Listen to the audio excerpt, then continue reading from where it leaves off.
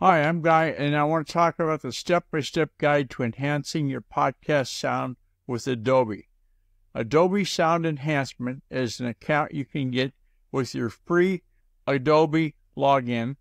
If you go to the Guy R. Cook Report.podbean.com, I've got the Google document in there with all the how to's, the step by step instructions to follow along, and you can see what I'm saying.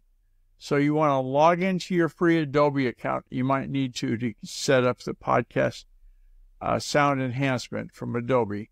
Then open your project in Adobe Sound Enhancement and import your podcast MP4 file into the project library. It used to be you did MP3s. Now you can upload the MP4.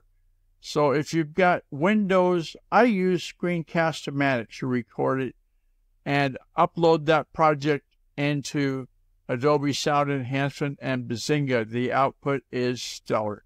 Oh, and hey, contact me. Use the secure contact form on GuyRCook.com. If you like this episode on YouTube and give it a thumbs up, and then click on the bell and subscribe to future episodes.